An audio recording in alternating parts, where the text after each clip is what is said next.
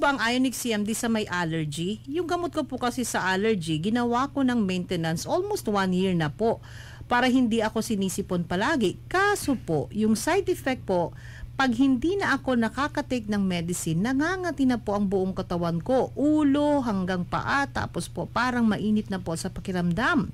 Kaya iinom na lang po ako nung uli ng gamot para mawala yung kati.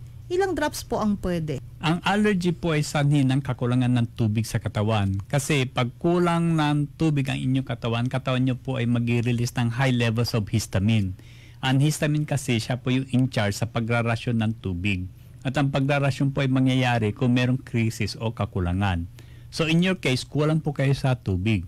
So the best antihistamine actually is proper hydration. Mm-hmm. Dapat uminom kayo ng tubig at 50 ml per kilo per day at saka yung pag-inom ng ionic mineral drops kasi ang tubig na inumin nyo po is purified at ang purified water walang minerals.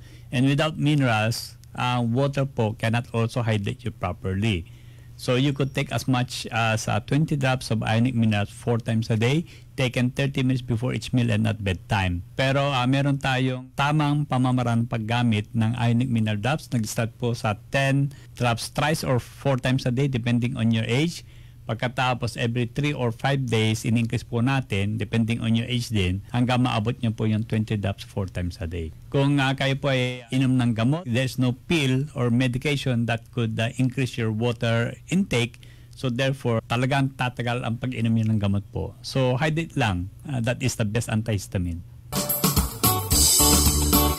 Tubig na purified ang dapat inumin Ionic CMD Sa tubig dapat haluin.